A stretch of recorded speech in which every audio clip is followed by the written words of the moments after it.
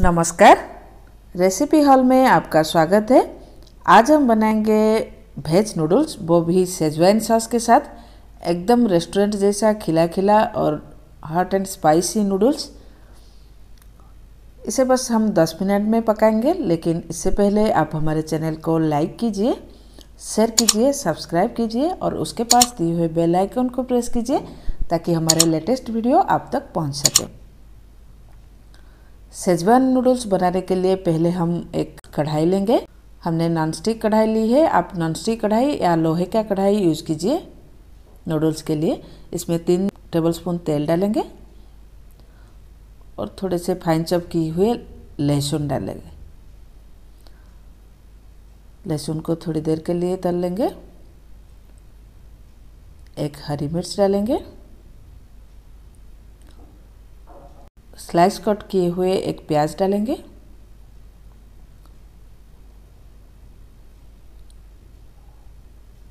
इसे थोड़ी देर फ्राई करेंगे।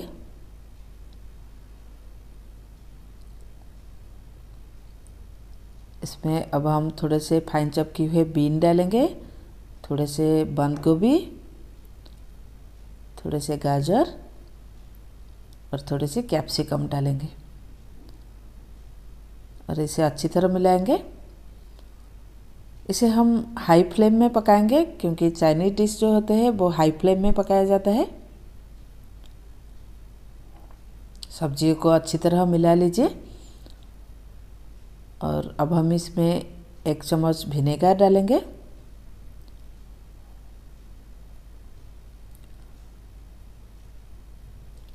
सब्जियों को पकने के लिए विनेगर मदद करता है।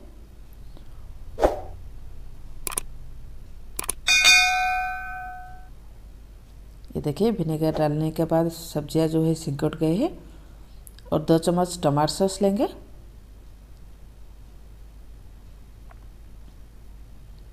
और एक चम्मच सोया सॉस लेंगे। हमने डार्क सोया सॉस लिए है। और इसे अच्छी तरह मिलाएँगे।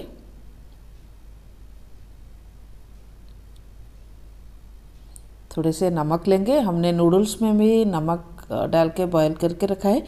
इसलिए हमने थोड़े से नमक लिए है सब्जियों के लिए। अब हमारा मेन इंग्रेडिएंट्स सेजवाइन सॉस हम डालेंगे। हमने बड़े दो चम्मच सेजवाइन सॉस डाले हैं। अब हम नूडल्स डालेंगे। नूडल्स को हमने 10 मिनट के लिए थोड़े से नमक और थोड़े से तेल डाल के बॉईल करके इसे एक छलनी में निकाल कर रखा था।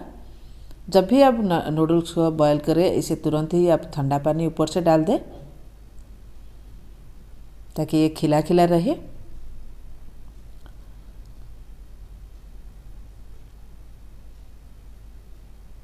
थोड़े से काली मिर्च पाउडर डालेंगे और इसे अच्छी तरह मिला लेंगे।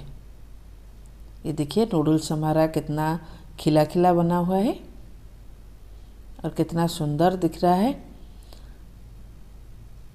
सेजवान सॉस डालने से ये बहुत ही हॉट एंड स्पाइसी बनता है और एकदम रेस्टोरेंट जैसा वेज नूडल्स बना है हमारा।